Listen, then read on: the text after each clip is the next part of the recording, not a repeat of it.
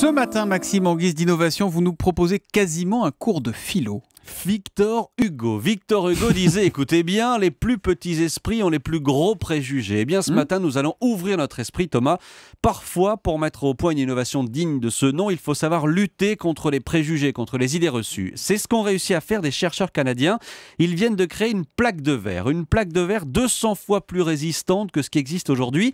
Mais pour ça, ils ont fait une chose qui peut paraître totalement idiote. Et c'est quoi alors cette chose? Ils ont commencé par fissurer ce verre. À l'aide d'un laser extrêmement précis, ils ont créé des micro-fissures d'un millième de millimètre. Là, on se dit naturellement que ça va rendre ce verre beaucoup plus fragile. Eh bien, pas du tout. Deuxième étape, ces fissures microscopiques, nos amis canadiens les ont comblées avec une résine transparente.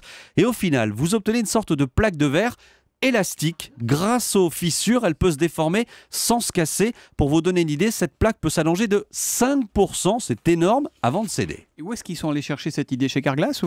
Pas du tout. Ils sont allés la chercher dans votre bouche, monsieur Soto. Ils ont pris l'exemple. Ah oui. Ils ont pris exemple sur l'émail de nos dents, matière hyper résistante. Et pourtant, elle est composée au départ de petites briques très fragiles. C'est la manière dont ces briques sont assemblées Mhm. qui rend nos dents très dures. Même chose pour ce verre, donc, qui va pouvoir servir, par exemple, à créer des fenêtres par balles, des hublots ou tout simplement des verres de lunettes beaucoup plus résistants qu'aujourd'hui. La philosophie appliquée aux fenêtres par balle, c'est signé du professeur Sweetex ce matin.